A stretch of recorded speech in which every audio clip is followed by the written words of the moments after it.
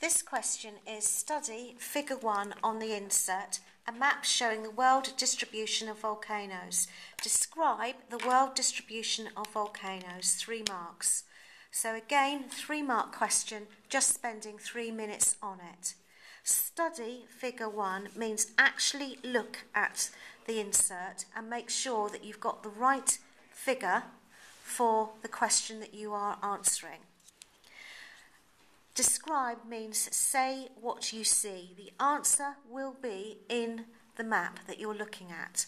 When you are looking at a map, you need to look at the actual map and the key alongside it to make sure you understand what is being shown on the map. Going back to the question, describe the world distribution of volcanoes. Underline any words that you feel uncomfortable about or you're not sure, like distribution. Distribution is just another word for the spread. Where are volcanoes located? Whereabouts are they in the world?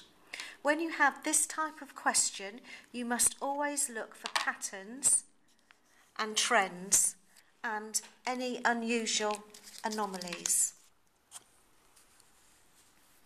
I'm going to mark the answers onto this map so you can see how I've answered this question. Volcanoes are generally found at plate boundaries. Plate boundaries are the edges where plates meet. They occur in long, narrow belts, as you can see where my pen is marking round, such as the Mid Atlantic Ridge. I'm using actual data from the map to support my answer. So it proves to the geographer that I am using and I have studied that source. The Mid Atlantic Ridge is where the Eurasian plate and the North American plate pull apart. Another big bout is round the Pacific Ocean, also known as the Ring of Fire.